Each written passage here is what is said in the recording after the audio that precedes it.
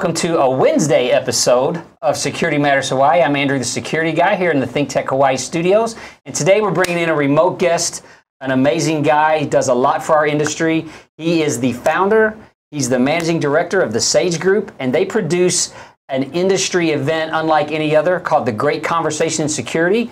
Ron Worman is with us today. Ron, I really appreciate you taking some time out of your schedule to join me. Aloha, Andrew. Fantastic to be with you. Great, man. Um, many members of our audience may not, not know your history with the industry and the history of the great conversation. So, could you share with us what, whatever you will about um, you know that history and what brings you to um, up to the, up to the great conversation's most recent um, uh, event? You know, 17 years ago, by, by nature, I'm a business strategist and I come from the IT industry. 17 years ago, I was exposed to one of my customers in the physical security industry, and they asked me to do an analysis of the marketplace for a strategic plan. Mm. And in that analysis, uh, I interviewed uh, many consultants, integrators, manufacturers, and uh, and quite frankly, I saw a dysfunctional ecosystem. Mm. there were silos of practices that weren't very well integrated. And I took a little scorecard from history. I happen to be a history buff.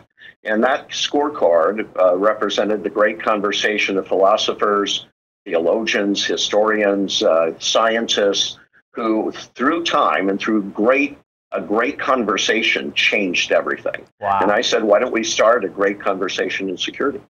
And that's how it happened. Wow. So how how and how long have you been doing? I think I've I've been to attending for maybe six, seven years. Um, when when did it get started officially? We started it in 2003. Wow. So about 16, 17 years ago, yeah. I missed out on a decade. It's no wonder I'm still catching up. Um, well, it took, and it took a long time. I tell you, Andrew. Uh, you know, one of the dysfunctions of the marketplace was a lack of trust with those mm. business disciplines we just called out. So we had over time to earn that trust that this wasn't a shill event for manufacturers, nor was it a lead generation tool for integrators, but it sincerely was a collection of disciplines out to change an industry and create a new value proposition. So it's it's taken a long time. Wow. Who are who are the most difficult to get to come to the table? Well, I gotta, I'm going to say everybody. Um, there, you know, no, I, I, I really am. It, uh, you know, we first teased out that there was a value proposition, a fundamental business value proposition to the risk resilience and security function. And of course, 17 years ago, everyone laughed and said, "We're a cost center, dude. What's the matter with you?" right? Yeah. So, so, sure. so you can imagine. And and then the other thing, I spoke. I did a keynote in front of integrators one day, and I said, "You've been complaining to me that you don't have a seat at the table." And I said, uh, You say because you don't have a seat at the table that you're always uh, in uh, uh responding to RFIs, you're respond, responding with a low cost value proposition, and you're at the mid level management. And I said, I have a fundamental question for each of you. Raise your hand. Who taught the marketplace how you sell? we you, did. Thank you. And and so so and obviously there's an interesting marriage between the manufacturer and integrator, and then the consultant. You know, we started we started digging into that, and it was funny because behind the scenes, unknown to the uh, client, the consultant was tapping the system integrator for all this technical knowledge. Yeah. And yet, that technical knowledge wasn't really germane to their best business practices. And so we had clear mm. dysfunction all the way through the ecosystem. So, how do we all come together and start getting on the same page so we can drive that? Now, this has become critical in this day and age yeah. because now we're going through another change. And the change is we're no longer in the risk resilience industry. That just happens to be our discipline. We're actually in the information management industry. Mm-hmm. We're in a sensor driven world where um, we're being asked more and more to take part as part of the tapestry of the organizational vision, mission, and organizational operational objectives. You see that in the smart building initiatives, the smart city initiatives. Mm-hmm. We're becoming integrated into that fabric. And I don't think the uh, ecosystem has naturally catch, caught up with that. I was going to say, and it seems to me that business is more ready for us than we are ready to contribute to the business mission. Wow, I'm copying that down for my next blog. That's absolutely right. No, it's it's absolutely right on. Greg Creed, a CEO of Yum Brands, a Fortune 500 company, addressed the last great conversation of, of course, executives and their teams, and he said, "I uh, I have news for you. What's not on my balance sheet that describes the core value of my company?" And everyone's scratching their heads, and he goes, "People." Ah. And so he goes, so I want to leverage what I do is I leverage people to create organizational objectives and fulfill those organizational objectives. He said, is, he, he really asked the question, is security doing the same thing? Is mm. security creating a relevant, easy, and distinctive value proposition to the enterprise? And, and of course, everyone's pretty silent. And he goes, that's what I'm asking my CSO to do. Nice. Nice. It's interesting. You know, we talk a lot about um, training, right? Everyone has a training is an expense for our people, and mm-hmm. I, I I look at some of the percentages. I know NSCA puts out the they have a pretty good vision on what everyone at least volunteers that they spend on training percentage wise. Uh, we do triple that at our company, and I don't think it's enough. I'm constantly begging for training budget. How, how else are we going to build value in our people, Ron? I mean, what, what do you think about that? Is it, it, it do we have to afford to invest in order to improve? You know, I want to say quickly yes, but, and so I'm going to do the but because you and I can smile at this one. You know, the hard, the hard lesson of business is it works off profit. Mm. Yeah. I'm going to say that again. The hard lesson of business, it works off profit. Yeah. So um, the bottom line is uh, you're constantly uh, managing this is the lesson for security executives as well. You're constantly managing risk and opportunity.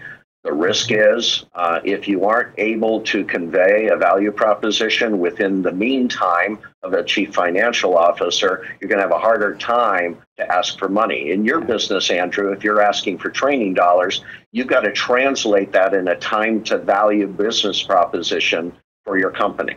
Yeah. And uh, that's just managing risk and opportunity. Yeah, we we have metrics, you know, for performance, and you know, we we run a, a very high utilization rate on our people already. So I feel like you know we're we've squeezed a lot out of them, and it's like, wow, where do we where do we go next? How do we how do we bring more value out of the the staff you know the entire pyramid of the staff it's not just the system engineer at the top it's not just the account manager that's doing the interface with the customer but all the lessons and knowledge that's being sort of learned and and and uh, sponged up down there in the field. I don't think it's translating up very well. And I, at some point, I don't know what the maximum efficiency is. I mean, can we get to 100%, or is, is 88% going to be uh, all we've yeah. got to offer? So, just so all our listeners are are um, are making sure they're focusing on the right thing. Right now, we're talking about the system integration business, not right. necessarily the end user. But let's go to the end user for a second. Sure. And see if they value training. So the end user at this time, if you and we do surveys all the time. In fact, you you know what our preferred measurable outcome is for a great conversation? I no. It's very it's very simple. And you would have seen it in Plano on May 21st in, in, at the Yum Center of Excellence.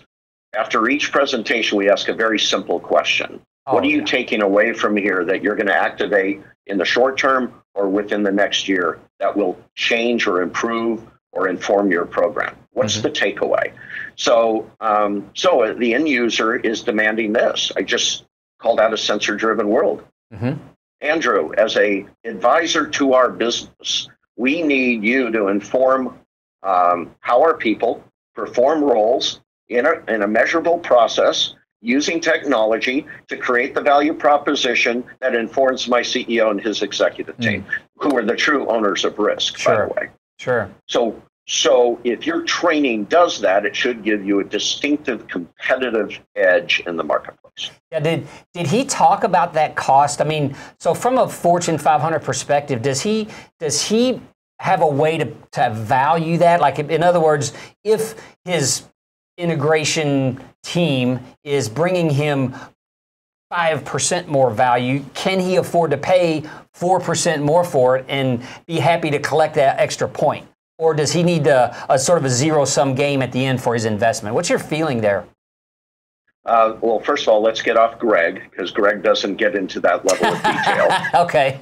That would be the mid-level management and the CSO. So let's get off Greg for a second. Okay. Let's talk about the persona that you're marketing to. So, so let me ask you a question, Andrew. Uh, most integrators you know, including yourself, at what level of management do you most often engage? And who is that? Yeah, is it the IT guy? Is it the uh, security manager who's been tasked with evaluating a solution? Who do you most often engage with? I, I, I would say it, it, it, does vary across the customer, but in the in the government space, it tends to be the engineering team that's taking care of the four star. Um, in in the healthcare space, it tends to be the facility and IT team together. Um, but as soon as I get out of enterprise, oftentimes um, it's the owner or the owner's representative, and they're not very well versed in what they even want to achieve with security in their organization. Right, right. And most often, let's face it, uh, for all your listeners again, just a little bit of history, because if you study your history, you'll be able to understand your future. The way the security industry started was with a lock and a key on a door. And so you fell into a construction marketplace, yeah. a contractor marketplace. And, and uh, any contractor will tell you they're in a low margin marketplace. So that's your history. And yeah. you haven't necessarily developed a contract model out of that, have you? Yeah. Yeah, it seems well. It seems like so the, consultant's in there first, right? So the consultant has that back channel, and you know, of course, they working with right. us around the GC. But uh, yeah, I didn't think about the new construction market yeah. is definitely GC controlled. You know, it's bid well, which and, we don't and, do a lot of that. Yeah, but but again, back to back to uh, construction, whether it's retrofitting or new, you end up having a whole ecosystem there. And what we're what are we seeing in our marketplace, Andrew? We're seeing more uh, cognizance around the smart building. We're seeing more mm-hmm. cognizance around the value of security by design. We're seeing more cognizance over a LEED or energy certified building. Mm-hmm. In fact, to support the brand of the organization as well. Yeah. So we're seeing all these things, and it's incumbent upon the vendors in the marketplace to actually bridge those new innovations, those new models of, um, of value into what we traditionally have sold in the marketplace. And that that's that's the hundred million dollar question. Who solves that ends up being leaders in their silos. Yeah, and I, have definitely been, wa- you know, watching for that lead. You know, I know there's a, been some facil- uh, manufacturers, large ones, that have built some huge centers now that are showing right. what's possible. But that's all mm-hmm. been brand new and just built, right? And they're they're still having trouble, I think, parsing the value of the data itself. But we're starting to gather it, which was a at least right. we've become aware. If that if that well, if that's the first you, step. Well, that see one of the keys to success for leaders like you, Andrew, is whoever I've always said whoever asks the best questions mm-hmm. win. Yeah, they win, yeah. right? Because they're curious. They're naturally curious. They're listening. They're not. They're not selling their company or their product all the time. They're actually uh, trying, as Steve Jobs said, the best way to understand what a customer wants is study their behaviors, not what mm-hmm. they say. Sure. Right. So the people in a process using tools. But but let's let's talk about another model because we're talking about contract models, and I know this is near and dear to your heart, trying to figure this out. What if I told you that the smart building is working off a model that I call the utility model? Okay. When I go when I go and flip on the light switch in my home, uh, do I ask myself, how am I going to build this whole infrastructure that supplies me energy? Yeah. No, I flip on a switch, right? Which leads me to more strategic ownership over my assets, right? So I think what you're going to see more and more in this industry, unfortunately, for your for the vendor community, they keep calling it recurring monthly revenue and all mm-hmm. sorts of things. It's very almost a myopic view. What we need to do is c- create a new. They're telling me this. Create a new contract model that allows uh, them to focus on the metrics that matter the mm-hmm. security strategy, the planning, uh, the risk intelligence, and so forth. And we need to learn how to help them just turn on the switch and, and supply that security infrastructure as a service. Yeah. You're going to see that more and more, the utility model. Yeah, I'm, I'm definitely ready to bundle security up as a service for anybody that can consume it that way. Great insight right. from Ron Worman. We're going to be right back in about one minute after we pay a few bills. Stick around. Aloha. I'm Daylan Yanagita, a host here at ThinkTech Hawaii, a digital media company serving the people of Hawaii. We provide a video platform for citizen journalists to raise public awareness in Hawaii. We are a Hawaii nonprofit that depends on the generosity of its supporters to keep on going. We'd be grateful if you'd go to thinktechhawaii.com and make a donation to support us now. Thank you so much.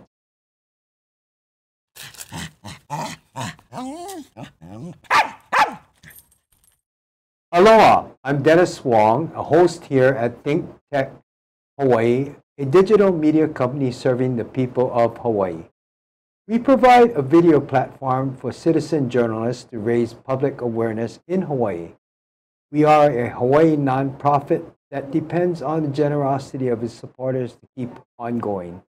We'd be grateful if you'd go to thinktechhawaii.com and make a donation to support us now. Thanks so much.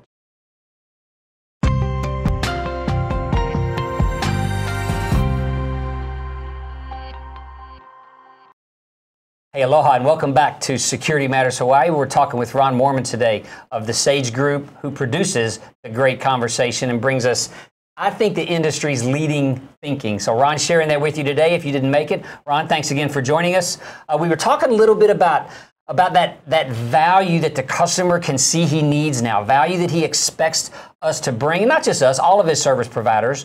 Um, the entire supply chain, I think, is under scrutiny for bringing data, business intelligence, and that's in the form of data fr- from you know sensor companies like ours. Um, what else did they talk about that everybody needs to prepare for? Oh, okay. Within the last couple of great conversations, Sure. and both, re, remember, I uh, I want to make sure people know how we do this. So we're having conversations all day with the ecosystem. It starts with the senior executives who run the strategy and planning for risk resilience and security. So we're having conversations all day long. Uh, secondly, we're having conversations with the manufacturer community because we we're, like investors, we don't want to be investing in what was yesterday. We want to know what the roadmap is for tomorrow. What are they doing about this sensor driven world?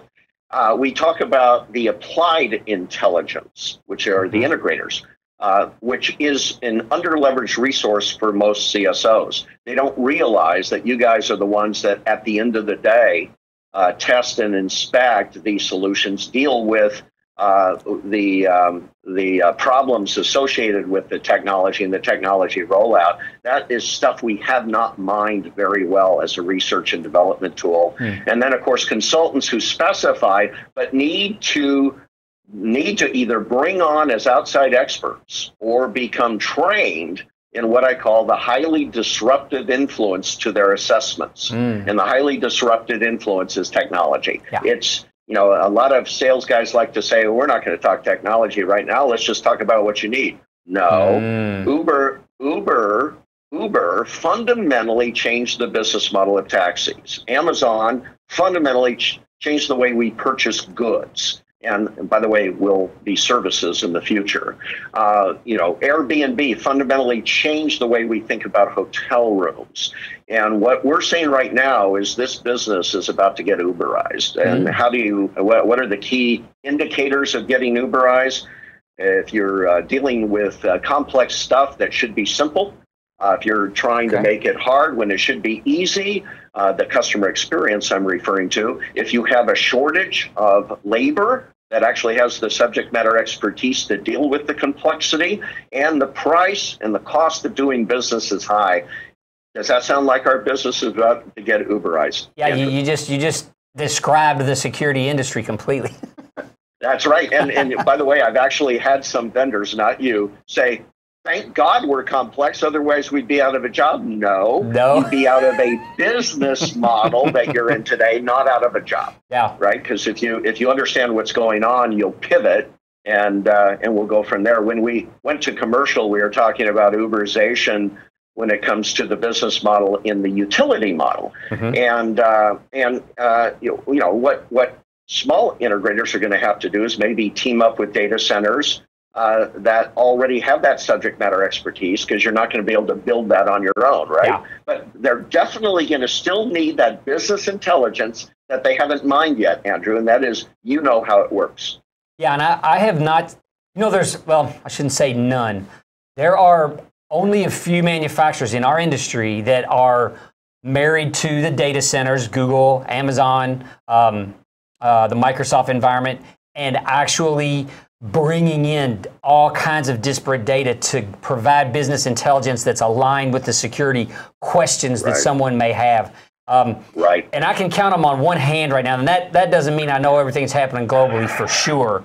But there are not enough of us, I think, yet um, willing to, I guess, take the risk of, of looking at what's possible and then working with the customer to drive the value that can come from the learning. Because it's Yeah. machines sort of do Yeah. it for us. You know, it's it's basically Yeah. machine learning. It's leveraging machine learning that's happening in the cloud, and basically just getting all the data up there. And once you let the environment um, expose itself to the information, it just consumes it, and then we can gather Sure. better, you know, decision making capability far more quickly, and actually far more accurately than we've ever been able to do with any of the analytics or the stuff we've done, you know, for 20 years. So uh, I don't know if this would be useful to your listeners, but I've always found it useful in analyzing markets, especially in the IT world. Okay. Um, I call it I call it the data ladder. So let's start at the bottom. You know, just a recognition, everybody, that the video camera you're buying, the intercom system, the access control system, uh, the uh, the DV, uh, these are all aggregating bits and bytes. Yep. Now, now watch what you buy, everybody. The bits and bytes turn intel- intelligible, intelligent when they're put inside an application, and that's why the bits and bytes turn into the access control screen that you use and Right. you love, and and your video uh, management system and your in- intercom management system. So so it becomes applied knowledge, applied bits and bytes. And the next in the uh, the data ladder is analytics, right? So now, can we apply intelligence to the data, then just receive it and apply it? So then the analytics come in. Now, those three things must be acknowledged and managed, and you must help the client integrate them before they Mhm. get to the next big thing. Because if, if you're organized, then machine learning becomes easier and Yeah. ultimately artificial intelligence. So we're actually in the preparation phase for machine learning. And if I was in your business, I'd be helping the customer get ready by getting it all integrated and getting it ready for machine learning. Yeah, I have had these conversations, and they're they they almost understand what we're saying, but that, we've got to show them. I think Oh, yeah. the com- the combination of two pieces of data first, and why that gives them a decision that's 99% accurate, um, and and then I think we can expand it beyond. It's it's um I think humans are still having a little trouble grasping you know why we need machines to gather all this information it's so much information. But with that volume comes reliability in the decision or in whatever you know out whatever we've tried to discern with this analytic or this algorithm or whatever it may be. Um, I've, I've, I've definitely had trouble explaining it um, so far. You know that's been my experience. I mean what what happened uh, at the great conversation? Did do you think that the Yeah. the room is as is advanced enough to use some of this Uh, you know, it's so funny. I am. I, I'm like the pastor of a church. Uh, anyone who's ever attended a church or has talked to the pastor, and that is when you have the congregation there. There's always something you can improve, right? So, Sure. so uh, or something somebody has a problem with, and uh, I, I like to say, uh, uh, being being the uh, MC for the great conversation means uh, that I get backhanded compliments. Ron, that was great, but right, right, right. And and where I'm going is they try to drag you into what's on the surface, Mm, not necessarily challenging the presumptions, assumptions, pre presuppositions Yeah. being made in their critical decision making. Uh, so back to what I find valuable when a CSO comes up to me and says, "Ron, how do I I, I uh, actually create an investor grade business plan?" Which is what happened in the last great conversation. Wow. You know, you're starting to make progress, right? okay yeah I think that's pretty cool. Yeah, and, and it's um it's there. I had um, Sarah James was on here a few weeks ago from Arcules, and you know they're in the Uh-huh. Google Cloud, and they're taking a lot of the the data and, and other IoT data up into Google's cloud and processing it up there.